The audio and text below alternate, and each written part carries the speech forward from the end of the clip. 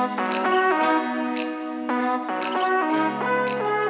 everyone, Tim from vMix here, and in this video today, I'm going to go over how you can use your vMix video and audio in external programs and browser-based applications. So this is really good for things like Zoom, Teams, Skype, or different video conferencing software or browser-based video calling if you wanted to uh, bring in your vMix production. Now we can do this easily by using an application called the NewTek NDI Virtual Input. This app allows us to connect our vMix video and audio and then use it in programs like Skype, Zoom, and browser-based video applications. The reason we recommend using this is that the NDI Virtual Input uses a driver, and that's been around for a very long time. It's tried and tested, and it's going to pretty much work with any program that you want to use it with. Now you can use the external video output from vMix and a virtual audio cable but that will take a little bit more configuration and may not work in every single program. So if you are looking for a way to add your video call back into vMix, check out the description where you'll find some videos on how to create productions with Zoom, Skype, and Teams video. To get started, you will need to install NewTek's NDI Tools Pack. Now you can check out the link in the description for the download.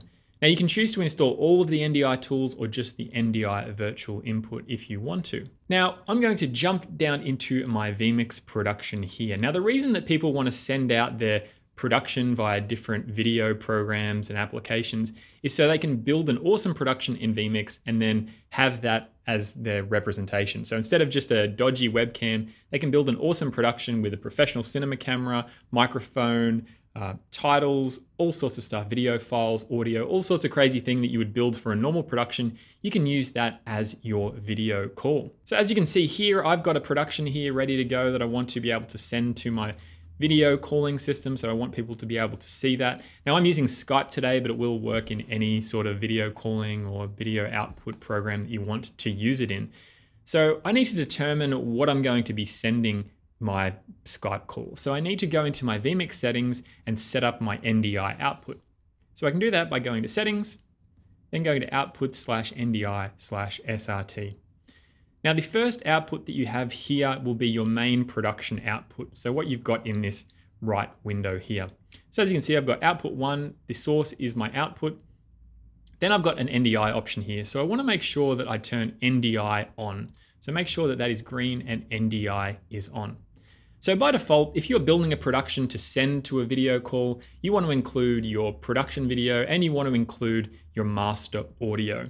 So by default, if you go into this gear here and see the audio channels, it will be set up to master by default. Now you can change this to a different bus if you wanted to, but most of the time you're going to be using your master audio because that is what you're going to be creating in your production, your microphone, your audio files, all that kind of stuff. And that's what you want to send your video call. So once you've set that up, output is got your NDI on. You can also choose whether you want to send all of your overlays. Again, if you're building a full production, chances are you want to make sure that all of these overlays are on. So I'm going to click OK down the bottom. All right, so now we need to run the NDI virtual input. So I'm just going to search for that virtual input. Here it is here.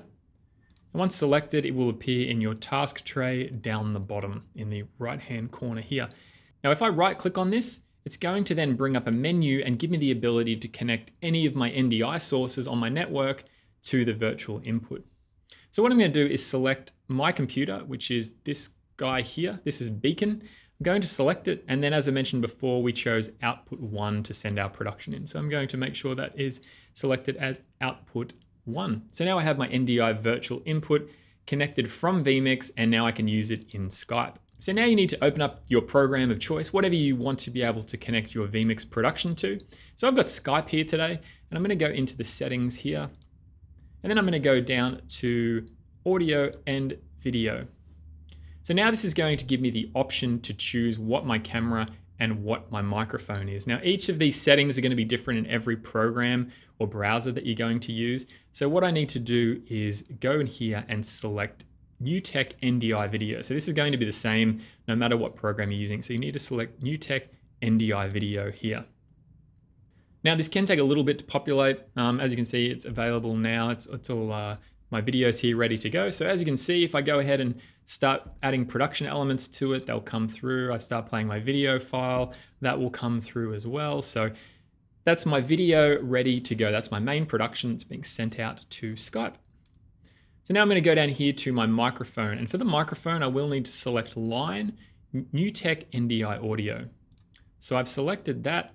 Now, as you can see, as I talk, when I stopped, the audio stopped coming through. So this is grabbing the audio from my master in my vMix production. So that's my microphone and that is good to go. So those are the things you need to remember. For the microphone, select line, NewTek NDI audio, and for the camera, select NewTek NDI video. So once that's done, you've successfully connected up your vMix production. and close that down, then you can start making calls and use your vMix production as your call.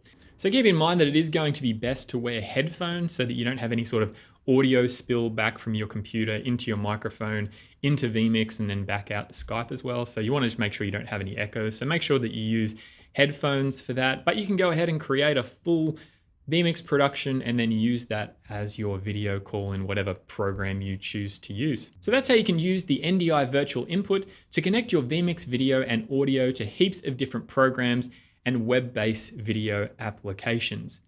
It's a really simple way to do it. As I mentioned before, the driver has been around for a long time, so it's going to work with pretty much everything you can throw at it. And it's really simple to set up. If you do have any questions about this, please send us through an email. Unsurprisingly, it's very difficult to diagnose issues through YouTube comments as we have no idea what system you're using, what buttons you've ticked, and we can't do any diagnostic reports from YouTube comments. So we do have a support page on vmix.com where you can fill out your information. So thanks for watching and we'll stream you later. Thanks for watching. Click to watch another exciting vMix video or head to vmix.com for a free 60-day trial. See you later.